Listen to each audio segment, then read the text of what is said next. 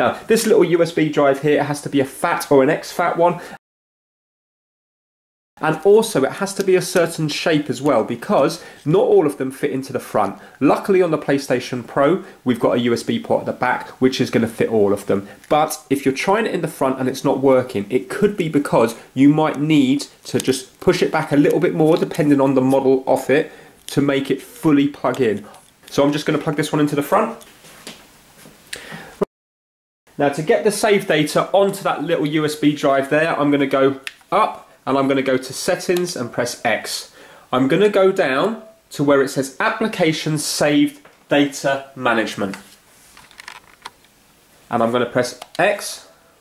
And if you have a look here, it says save data in system storage. So I'm going to press X.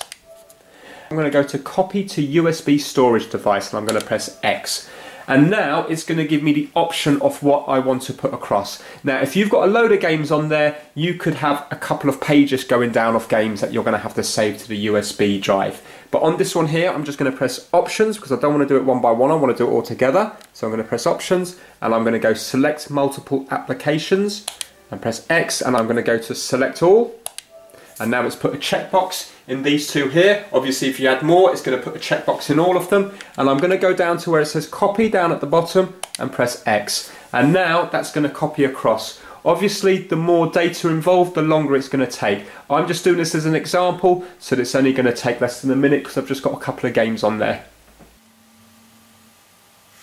Right okay so now we have those game saves on that little USB stick down there. Right, so let's now take this out and let's pretend now that a, a, few months have gone by. You now want to get the game save data back off here. Well, all we're going to do is plug it back into here.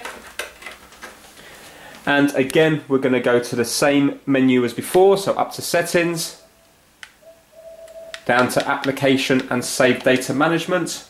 And this time it says save data on USB storage device. And you can see now, I can do copy to system storage, I can press X, and what it's going to do now is going to copy both of these. So again, if I do options, select multiple applications, select all, and then copy. If I hit copy, it will now put whatever's on the USB storage device onto the system storage. So it's back onto the internal storage. So then when you load up your disk or your digital copy, it's then gonna save the game from where you were before. So if you were 70% of the way through the game, you, you will now be 70% through the game.